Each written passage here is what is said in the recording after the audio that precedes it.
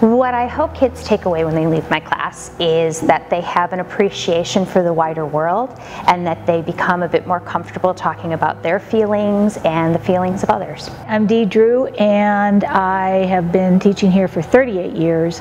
If there's one thing that I want them to take away from my class, it's a love of history. I would say the joy of learning and enjoying being around each other and us and getting um, their first kind of glimpse of what it's like to be part of a community.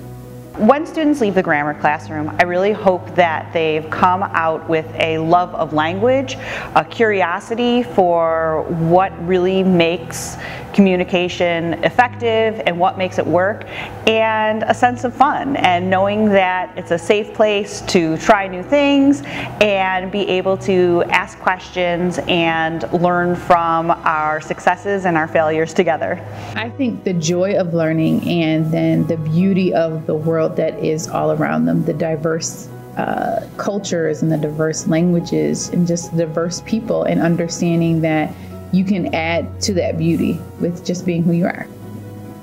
I'm excited because I I tend to do things a little bit differently than most people and I like to gear things towards my audience. And so I'm really excited because I can roll out a fairly unique curriculum this year for the lower school science students.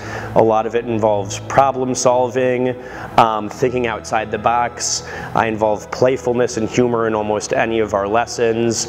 I make sure kids are comfortable sharing ideas even if they think they aren't right. What I'm most looking forward to this year is to expand my students' minds with literature and new ways of thinking and um, just kind of looking beyond themselves.